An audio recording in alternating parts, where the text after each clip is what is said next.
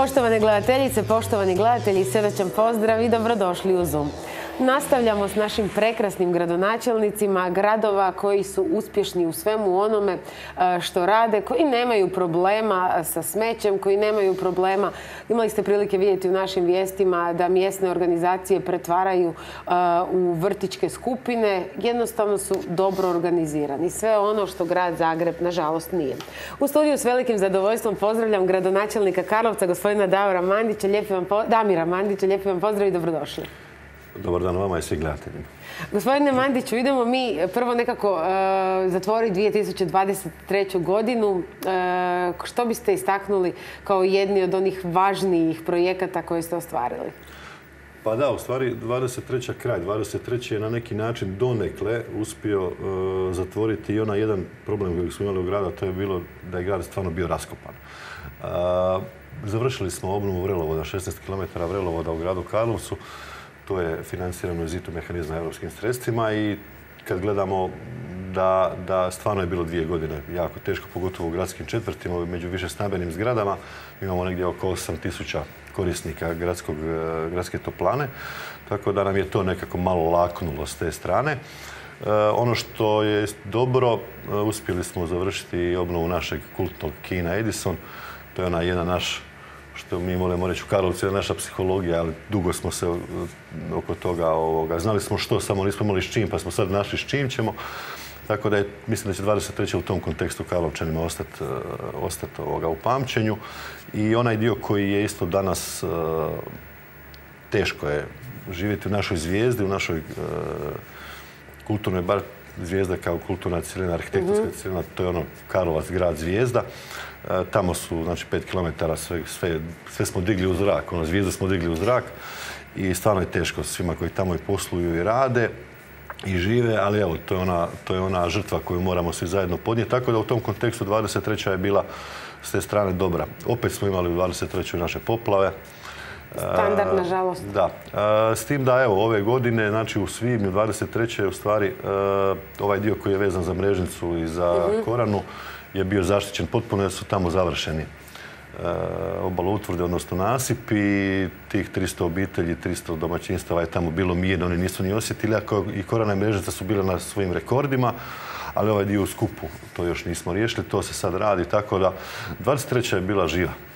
24. veliki planovi, ali prije što se dotaknemo same 24. vratit ću se malo na kino Edison. Zašto je čekalo 20 godina da ponovo otvori svoja vrata? Pa to ima, ta, cijela priča ima onu jednu povijest koja baš i nije, nije ugodna. Naime, tu se dogodila ona legendarna privatizacija 90. godina. Ne mogu reći ljudi koji su krenuli u taj posao su pokušavali, nastojali, ali jednostavno generalno e, cijeli taj dio, pogotovo razvojem novih tehnologija i tako dalje, da sad ne idem u detalje, jednostavno je cijeli taj e, projekt Kina doveo u pitanje i u jednom trenutku se on jednostavno prestali su se prikazivati filmovi. Sama zgrada je zaštićeno kulturno dobro. E, sama ta zgrada je, odnosno Kino Edison je bilo drugo kino na ovim prostorima.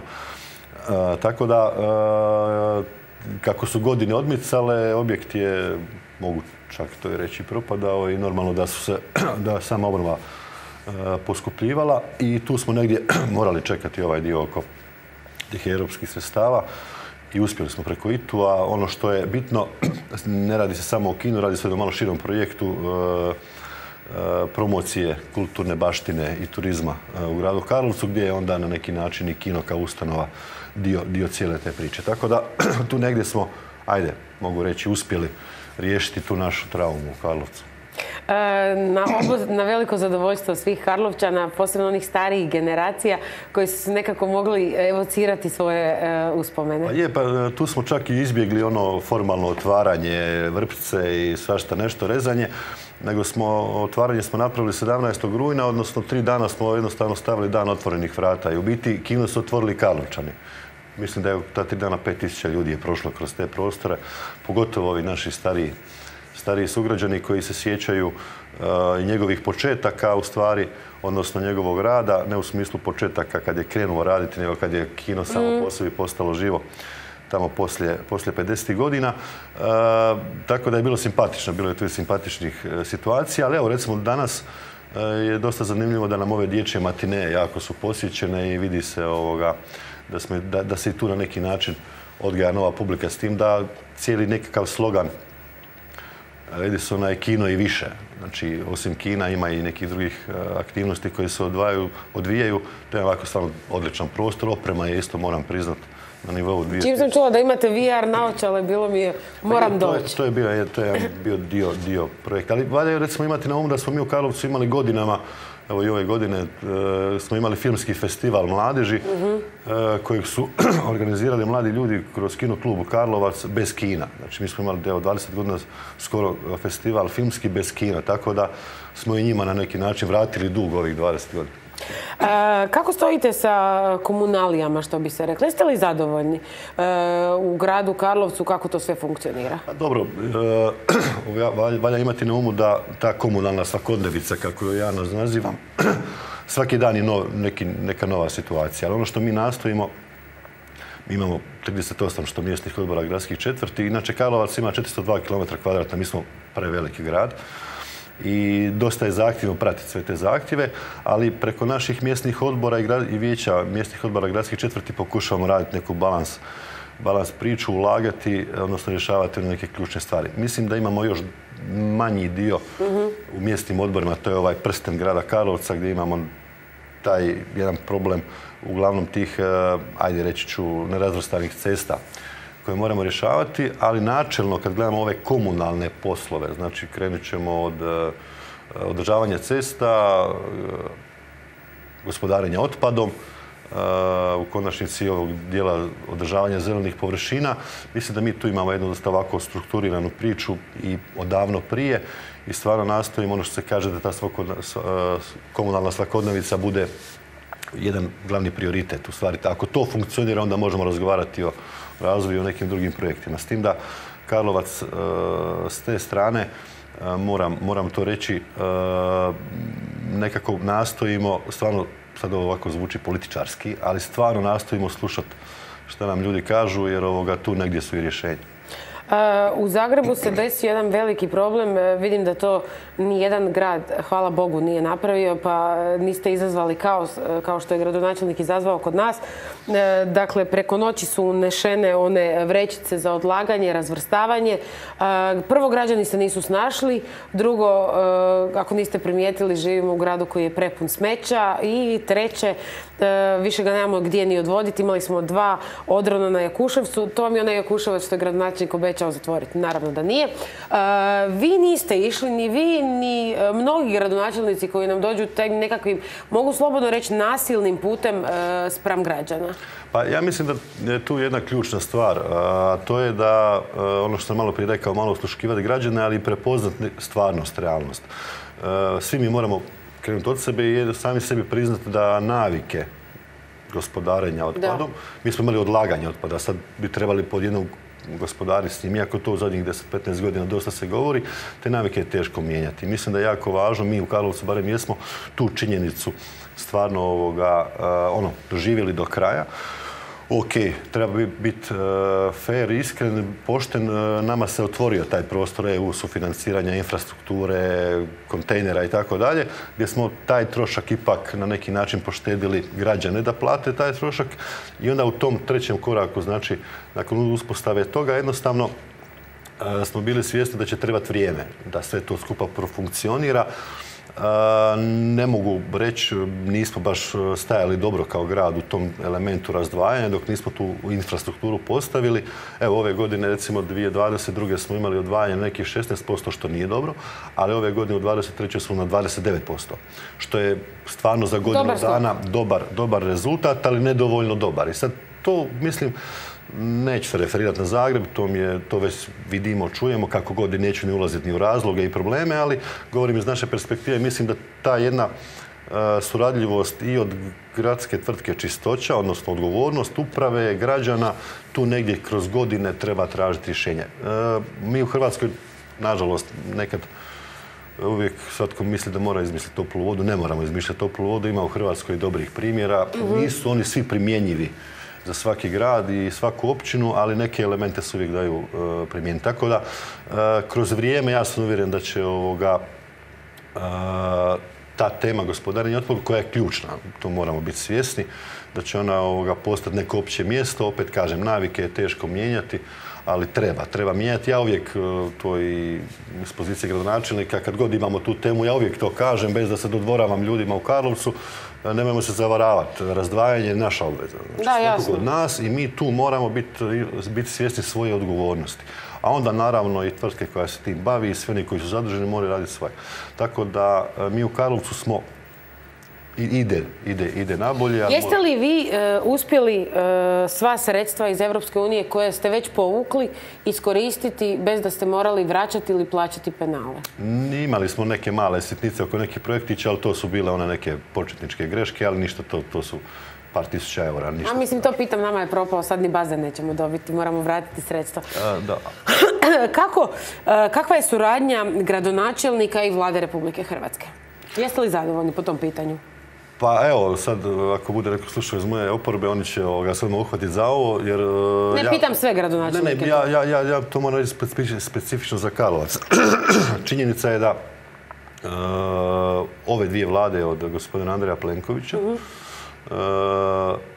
i prva i ova sad od domovinskog rata, kad govorimo o strateškim projektima za grad Karlovac, koje su nadležnosti vlade, ti projekti se sad provode i ove vlade, činjenica je, i ova druga pogotovo, da je to to. Ja tu govorim o obrani od poplava, Znači, mhm. definitivno je vlada to stavila kao strateški projekt i on se provodi. Uvijek mi možemo razgovarati je li on dovoljno brzo, nije dovoljno brzo, ali e, definitivno je ta priča e, zaokružena. Ima nekih problema koji će se, ja vjerujem, riješiti. Ovaj dio koji je vezan za promet, Hrvatske ceste, znači uspjeli smo napokon je, Hrvatske ceste su uspjeli riješiti tu obilaznicu Turnja koja je bila stvarno jedna trauma isto tako. E, o drugom kolosijeku, ok, to je Ministarstvo prometa, odnosno e, pitanje željeznice i svega toga. Nama taj drugi kolosijek koji se sad radi e, je u biti bitan zbog i mobilnosti i svega ostalog, jer mislimo da kvalitete života u Karlovcu može biti na jednoj puno višoj razini od Zagreba ne ulazeći sad u, detalje. Tako da s te strane moram reći da vlada, sadašnja vlada je definitivno Karlovac prepoznala i moram reći kao gradonačelnik da je to ono nešto na čemu mi u stvari i gradimo uh, onaj element da Karlovac bude uh, stvarno ugodan, ugodan za život. Jer ako vi svake godine imate poplave, možete vi napraviti što god. Ali ostane negdje u eteru da je tamo nekakav element nesigurnosti. I mislim da će uh, i ova vlada u biti u tom dijelu E, definitivno ostati upamćena u konačnici e, u Karlovcu. Ima tu još nekih stvari koje su nama bitne, ne znam, geoterma, tu se malo ovoga svi zajedno tražimo i nastojimo, surađujemo, ne mogu reći, ali evo, ovo su neke stvari koje sam ja ovdje izdvojio.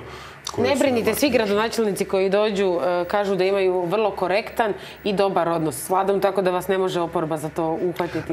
Zna, oni će meni reći da ako je sad, ako se nikad domovinskog rata nije radilo, onda znači da oni prije kao nisu radili. Ja uvijek kažem, ne referiram se na one prije, govorim o ovima sada.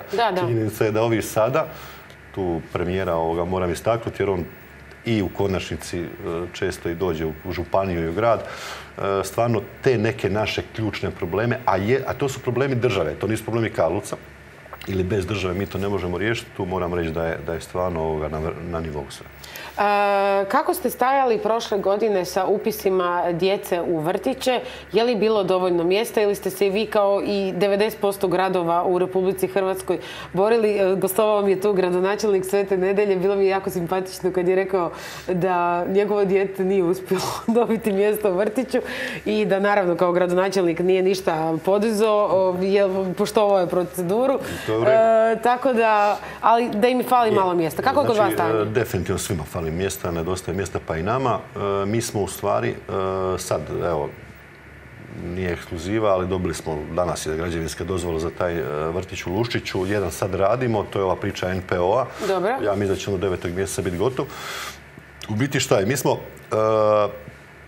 naš cilj je kao i cilj svima, da dijete ima mjesto u vrtiću bez obzira ili oba, oba roditelja rade. Mi smo uspjeli pokriti roditelje gdje oba rade, ali već od 1.9. 1. E, rujna su problem, jer dođu djeca Nova. I sad imamo onaj začarani krug. Mislim da je to i za demografsku politiku ključna točka.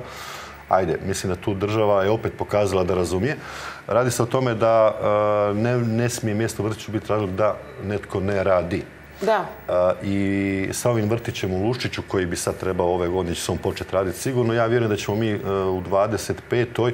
imati zatvorenu tu priču. Ono što smo mi u međuvremenu napravili, u, u funkciju vrtića smo prenamijenili dvije područne škole, jednu u potpunosti, jedne djelomično i sufinanciramo obrte za čuvanje djeca, djece dadilje, jer roditelji koji ne uspiju dobiti vrtić, onda smjeste kod dadilja, tako da tu negdje e, Plivate. E, sad, mislim, brojka nije mjerljivo, naravno, sa sa Zagrebom, ali nama je negdje ostalo u eteru neriješenih 30 e, djece, s tim da smo, zahvaljujući odgajateljicama, to mhm. moram reći, u nekim, u nekim grupama možda malo otišli iznad standarda, ali ovoga neće, neće to biti problem. I moram još samo da se malo dotaknem 23. Kako ste zadovoljni adventom koji je bio u Karlovcu? E, kako ste zadovoljni posjetiteljima? Pa evo, recimo advent nam je ove godine, moram priznati da smo se tu malo svi onako propitivali e, što nam, što nam, što nam još, što nam je nedostajalo. Mhm. Naime, ali ja znam što nam je nedostajalo. E, poplave su bile u svibnju i mi smo u biti 150 tisuća eura, evo cifra je točna sa adventa prenamijenili za štete od poplava i to smo dali našim sugrađanima koji su, kojima je voda bila u dnevnim boravcima i normalno da se onda uglavnom na programu na programu se... Štedilo. E, je, vidjelo. A moralo se, da. Vidjelo se to. E, onaj dio koji je, kao koliko sam uspio pohvatati po Hrvatskoj, svi adventi su imali problema sa cijenama. Da. Jel? E, nije kod nas bilo toliko dramatično kao u Zagrebu, ali definitivno tu negdje tržište, ja sam nekako uvjeren da će to tržište morati malo, malo, malo izregulirati. Ono što nam je ove godine recimo bilo super, to je upravo da su e, naše ustanove, e, naš Zorin dom, pa Edison i svi su se uključili akvatika kao slatkovodni akvarij, knjižnica, muzej nam je u obnovi pa nije mogao. Ono što nam je bila fora, svi su se uključili, svi su imali stvarno izvrsne programe koji nisu bili direktno na lokaciji adventa, ali su te mm. večeri adventske bile pune sadržaja. Tako da ovoga, negdje u 24. će sigurno ovaj iznos morati biti nešto veći, tako da bi taj program na samim lokacijama bio zanimljiv. E sad, 2024. je krenula, e, jeste li i vi ono e, što se kaže prionuli na posao, vjerujem da je u glavi milijun ideja što sve u Karlovcu još treba, što sve Karlovcu treba još izgraditi, dodati, pa, poboljšati. Da, u stvari, e, mislim, ja kad sad gledam iz pozicije gradonačelnika, 24. 25. mislim da mi imamo sad taj jedan element, te vrelovode sam spomenuo, to smo priveli kraju. Nama je sad e, od tih projekta koji jesu u tijeku, to je u biti u 24. privesti kraju. Vjerojatno neće biti kraj do kraja 24. gotovo, ali većina hoće. E, obnovu biti komunalne infrastrukture zvijezde. Mi tamo obnavljamo i e, određene objekte kulturne baštine koji su nastradali u potresu. To će biti, u biti će biti novo lice zvijezde definitivno. I to nam je ono što nas čeka. Ono što će se u 24. dogoditi, a mislim da će to svi u Karlovcu osjetiti. Mi moram priznati da s laganom tremom e, očekujemo kako će to biti. Idemo sa novim sustavom javnog prijevoza. Proveli smo tu nabavu, malo će nas više koštati nego što smo mislili. Što ste kupili? nismo kupili, išli smo na javnu uslugu gdje će biti privatnik. E, na tri godine smo išli da malo vidimo što i kako imat ćemo privatnog e, uslugu će pružati privatna tvrtka. E, tu smo išli s nekim novim linijama, s nekim novim rješenjima, da jednostavno to e, zaživi, jer moramo, svjesni smo da dosadašnji javni prijevoz nam nije bio najbolje rješenje, ali isto tako činjenica da je ovo sad što će nam se pojaviti kudi kamo skuplje od ovoga što smo imali. Tako da od prvog travnja bi to nekako trebalo zaživjeti, pa evo moram priznati da smo svi na razini uprave ono, u iščekivanju. Mislim da kroz nekih mjesec dana će isto krenuti jedan taj projekt obnove javne rasvjete.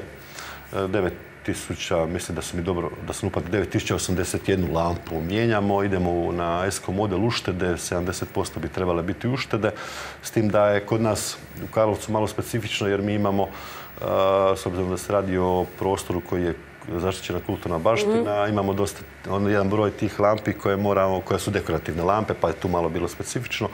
Ono što je zanimljivo, moćemo upravljati svakom lampom i cijela ta priča je ovoga digitalno smart, jel kako danas svi moramo biti smart. Da, svi moramo biti smart. Pametni smo, jel? Tako da ovoga, to će biti jedan od, od projekata koji, e, znači išli smo, nismo išli na kredit, išli smo biti na ovaj element uštede, financiranja iz mhm. uštede na deset godina. Mislim da je ugovor dosta kvalitetan po upravu, ali je bitna ovaj element uštede. Mi se u konačnici, mi smo grad u parku, zeleni smo po tom pitanju, onda malo i dosta smo ulagali u ovaj element e, zelenih tih nekakvih održivih, prije svega kad govorimo o energiji rješenja, tako da ovoga i ta rasvita je na tragu, na tragu toga. E, mislim da, apropo Edisona, imamo isto tako jednu sličnu priču Hrvatskog doma. E, to je kultno mjesto bilo za zabavu. On je isto prošao svoju patnju, pogotovo u statici. E, onda je potres još to problematizirao, ali evo, iz MPO-a smo konstrukcijsku obnovu završili, dobili smo neki dan od Ministarstva kulture, odnosno od vlade, skoro 8,5 milijuna eura za cjelovitu obnovu. To će isto biti jedna, po meni za Karlovac bitna situacija. Na ovom tragu 24. ovaj novi vrtić u Luščiću za 200 djece će se graditi. Sad je u fazi projektiranja škole. E, ta cijela priča Luščića koja je e, isto jedna arhitektonska priča. Recimo, ponosni smo na to što je struka u Hrvatskoj prepoznala to naše rješenje mislim da će ta, to je bivša vojarna bila li u centru grada. To će biti jedna zaista, jedan kvart ovako sa javnim sadržajima. Tu negdje već sad kupujemo još jedan dio. Tu nam je sljedeći korak nam je dom, umirovljenika. Tako da na tom elementu gradimo ono što bi za budućnost možda bilo bitno. To je da nam je cilj kroz neke dvije godine ajde, ja ću reći dvije, svjestan da možda malo sam onako optimističan, ali nam je cilj da nam sve e, škole prijeđu na radu u jednoj smjeni, a sa ovom novom školom u Lušiću to će se dogoditi, pogotovo je tri gradske u Karlovcu znaju o čem pričati. E, ovdje su mi prije prošle godine gostovale vaše direktorice turističke zajednice i onda me oduševio podatak da zapravo posjećenost e, grada Karlovca od strane turista je ogromna kao i zainteresiranost za vaš grad. Pa, mi imamo onu situaciju, ja to volim ovako, čak u ovakvim emisijama spomenuti, ono, svi prođu kroz Karlovac. Ono, to je Karlovac. Ono što je recimo zanimljivo, taj naš onaj stari Karlovac, stari dio grada, ta naša zvijezda, ona je nekako onako sakrivena. Onda dosta ljudi Karlovac doživljava kroz ovu socijalističku arhitekturu. I kolodvor. I kolodvor, da. Naravno da Karlovac ima jednu i drugu povijest. Turistički gledano, mi smo kroz zadnjih 4-5 godina, 7-8 kako god, ipak digli malo više tu razinu e, turističkih atrakcija. Osim slatkovodnog akvarija, mi smo posebno ponosni na naš e, muzej Domovinskog rata na Turnju, e, koji do korone je već bio, ono, iako nije bio gotov, dosta je bilo Korejaca, Kineza i tih posjetitelja. Sad se to vraća. Stari grad Dubovac kojeg vidite sa autoceste je posebna vrijednost. Sad je, evo, mogu spomenuti Edison koji je isto zanimljiv.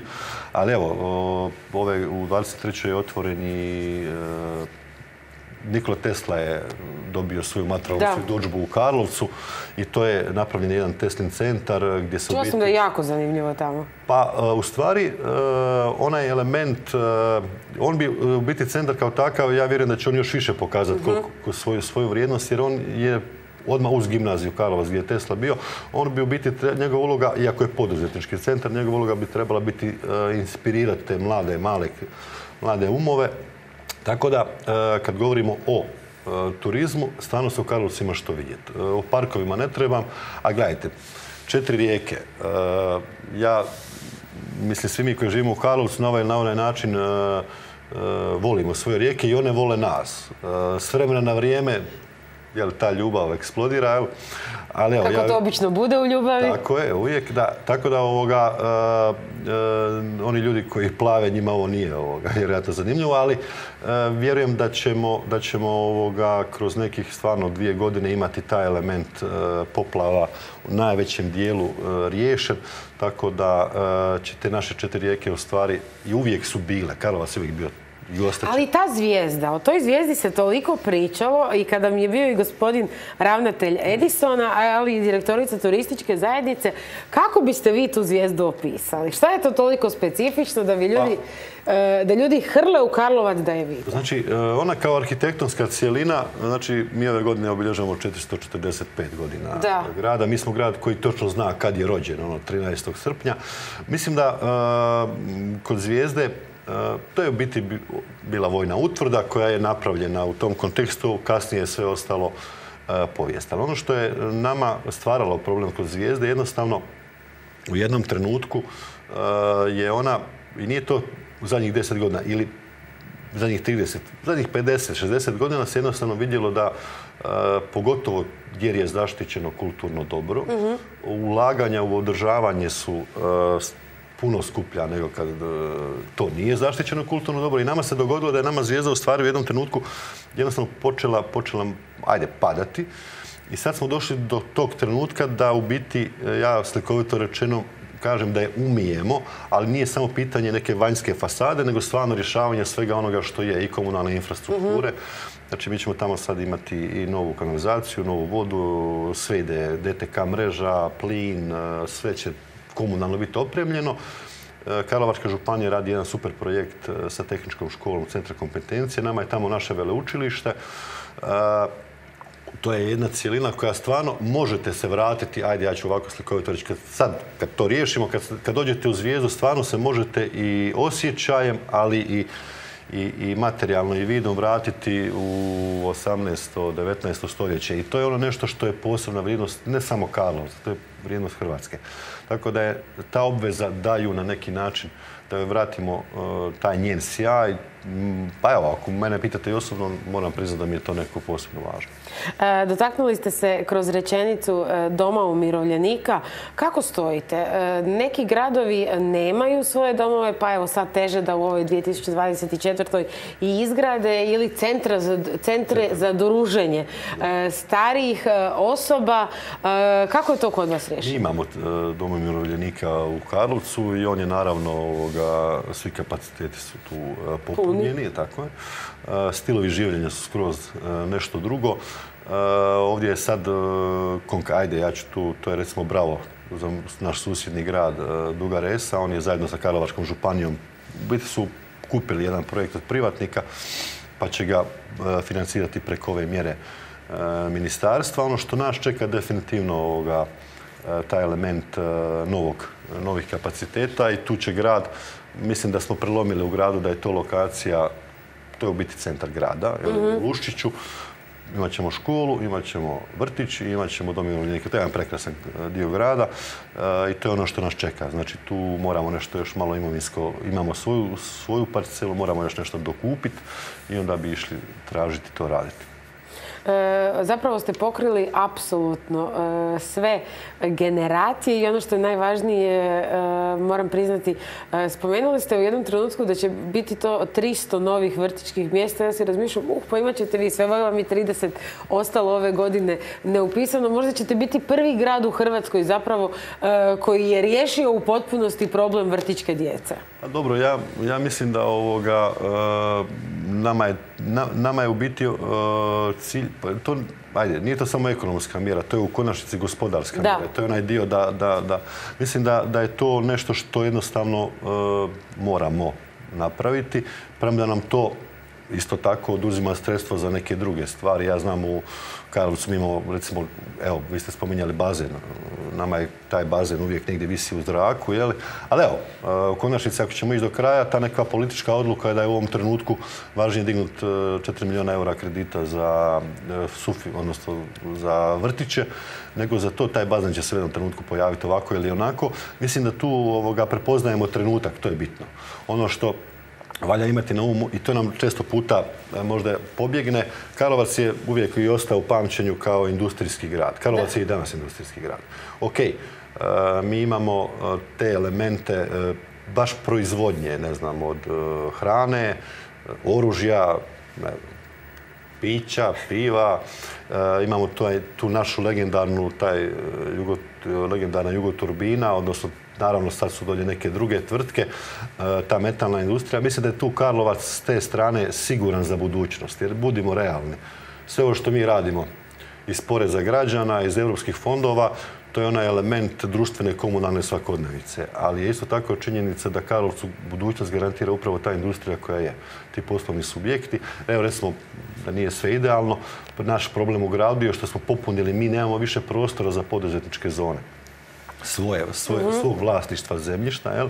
Sad nešto rješavamo uz autocestu, otkupljujemo, ali tu su naše zone sve pune. Mi smo prije 3-4 godine napravili poduzetničku zonu, odnosno uh, Gornje Mekuše, koja je popunjena. Sad se gore rade hale, bit će, zanimljivo. Uh, recimo, to nam je isto jedan od izazova za u budućnost, ali ono što nam je bitno, postojeći ti veliki i manji gospodarski subjekti uh, stvarno rade. I oni su u biti garancija opstojnosti grada. Predsjednik vlade Andrej Plenković donio je e, odluku na oduševljenje svih građana Republike Hrvatske. To je da od prvog ove godine ukida prirez. Kad kažem svih građana, osim onih u Zagrebu. Kako je to djelovalo na Karlovčane? Je li im se to vidi na plaći? Naš načelnik nam je digo e, oporezivi dio sve do maksimuma dokle je mogao ići. Što ste vi napravili? Pa ja mislim ovako, ja ću tu možda malo samo se dotaknuti nečeg drugog. Mislim da porezna politika vlade kad je gledamo unatrag, mhm. naravno, sad ispašće HDZ-ovac hvali HDZ-u vladu, ali govorim činjenica. Politika vlade je bila da na neki način ravnomjerno pokuša svima biti na raspolaganju, pa onda i gospodarstvu, pa i građanima i tako dalje. Ovaj, ovaj dio oko prireza, mi smo naime prirez smanjivali 18. sa 14 na 12, 22. sa 12 na 9 i imali smo taj nekakav plan. Mi smo ovaj dio, znači u Karlovcu imate slikovito 20 tisuća ljudi koji plaćaju porez, 10 tisuća ih je bilo u škarama prireza. Za njih smo ukinuli prirez i tu je 20% ostala ona porezna stopa. Tu smo napravili jednu malu caku, to nam je 0,08% zaposlenih koji imaju baš velike plaće, njima nismo ukinuli prirez, to je onako čisto bilo neka fantazija s naše strane. E, isto tako nismo e, dizali e, ove, odnosno minimalno smo digli ova druga davanja koja jesu, morali smo dignuti malo porez na potrošnju. Mislim da je ovdje dobro, sad iz naše perspektive, što i samo to ukidanje prireza kao takvo, ono bez ovih drugih mjera, tu je po meni vlada napravila dobru stvar, to je po meni čak i puno bolje od puno učinkovitije, ne bolje. To je ovaj dio oko minimalne bruto mhm, plaće. Mislim da je to ovaj neoporezivi dio. Tako da kad gledamo tu priču u Karlovcu će sigurno 99,2% ljudi e, imati e, veće plaće isključivo zbog porezne reforme. A to vam je sad u omjeru kad gledate nekome će biti 2 eura, nekome će biti 70 eura. Samo po tom pitanju. E sad, tu naravno, ono što je činjenica, tu je vlada po meni logično reagirala i premijer. Činjenica je da ti naši prihodi na razini lokalnih jedinica su se stvarno u 23. povećali. Mi se naravno nadamo da će to ostati na toj razini u 24 jer i ta sredstva su nama namijenjena za neke projekte. Tako da mislim da ova porezna reforma će u biti biti na neki način onako mali poguranac poguranac svima, ali e, mislim da gospodarska aktivnost će u biti onda dizati, dizati, dizati plaće. Tako da, e, što se tiče ovog prireza, mislim da 99% naših zaposlenih koji plaćali su ga, oni će imati veće plaće. Sad, kažemo o ciframa, o tom potom. Sad ću ja biti novinar pa ono kao da vas malo prestrašim pa da vas pitam kad su izbori? Ne. Ja sam mislila da ću imati ekskluzivu. Gradonačelić, ja sam mislila da ću imati ekskluzivu. ono što ja mogu reći e, sa, Na vrijeme će biti. Ono, kako je rekao premijer? Neće biti prvom, neće biti... Treba slušati premijera. E, ja mislim da... E, ja sad govorimo naravno o nacionalnim izborima, ali normalno referiramo se i na ove naše lokalne. Ja mislim da ovo sad što se radi u Hrvatskoj i jesam za to odnosno taj element ulaska u Europsku uniju u biti se pokazao stvarno za Hrvatsku bitan i trenutak i sve ostalo. Ono što ja mislim da je jako važno svima nama, to je da ovaj element demografski, znači sve se događa i ta digitalna tranzicija i zelena tranzicija. Gospodarstvo ne treba bježati od toga raste. Činjenica je da je taj element europskih fondova pokrenuo neke stvari. Ali mislim da nam je svima zajedno najvažnije upravo taj element e, demografski e, i mi koji smo na lokalnim razinama, a onda i ljudi koji su na višim razinama vlada, ministarstva, čini mi se da će nam to biti e, najveći izazov i u tom kontekstu... Mislite li da ćemo zaustaviti ovaj veliki odljev građana iz Hrvatske? Pa, tema tog odljeva je dosta, zanimljiva. E, ono, što, ono što se sad, e, mislim, počelo otvarati, je upravo taj element primanja. Ja mislim da tu negdje se mora još, još ovoga, dogoditi e, rast da ljudi stvarno ovoga za svoj posao dobiju e, približnu plaću kao što bi je dobili u Beču ili u Minhenu ili, ili ne znam negdje drugo. Mislim da na tome treba, da, mislim da na tome trebamo raditi svi i ja ste, zašto ovo spominjem? Zato što e, mislim da ovi rezultati koji jesu stvarno nas vode u onaj nekakav izborni proces gdje je rezultat jasan, a to je da normalno ja subjektivno mislim da HDZ će nastaviti e, voditi Hrvatsku državu. I za kraj, e, poruka gledateljima, evo, zašto u narednom nekom periodu posjetiti Karlovac, što, nam nudite? Da dođemo vidjeti. Pa, e, ono što bi volio da svima ostane negdje u uhu, to je da Karlovac kao grad je definitivno idealan za život. Kako god okrenemo od svih onih naših dnevnih, dnevnih potreba. E, jednako tako, malo prije sam spominjao, što se tiče posla, e, u Karlovcu e, posla ima. I mhm. za ona neka specifična zanimanja, premda smo recimo svjesni da dosta naših ljudi koji imaju specifične struke moraju dolaziti u Zagreb raditi. I ono što je isto tako bitno, ako već nećete doći e, živjeti i raditi u Karlovac, onda morate doći u Karlovac e, navratiti, odnosno e, posjetiti ga u jedan, dva, tri dana, jer i kulturna baština i prirodna baština i naše rijeke i naši parkovi i sve ono što mi imamo u stvari definitivno će vas oplemeniti, jer mi iz Karlovca smo, vidi se na nama da nas sve to, da nas oplemenjuje. E, dakle, svega pola sata vožnje od Zagreba, prekrasni Karlovac, ja vam se zahvaljujem. E, otiđite, posjetite se, otiđite, posjetite i uživajte i da se malo maknete e, iz Zagreba i cjelokupnog ovog kaosa koji je u našem gradu postao svakodnevica. Poštovani gledatelji, bilo je to sve što smo vam pripremili za danas. Ostanite i dalje uz program Z1 televizije. Srdačan pozdrav!